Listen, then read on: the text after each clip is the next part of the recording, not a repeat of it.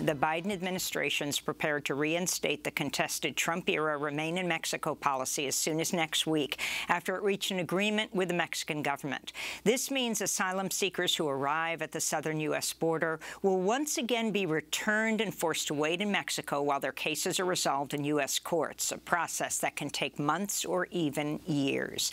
Advocates warn Biden has expanded the program to now potentially include asylum seekers from the entire Western Hemisphere.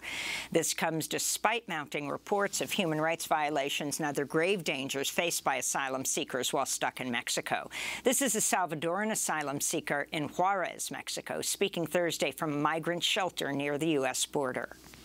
Pues ya tengo 22 días de estar aquí y pues yo pienso, ¿verdad? Que es, estar mucho tiempo aquí se desespera uno, más los niños, estar sin familia, y estar otros seis meses acá es duro y difícil.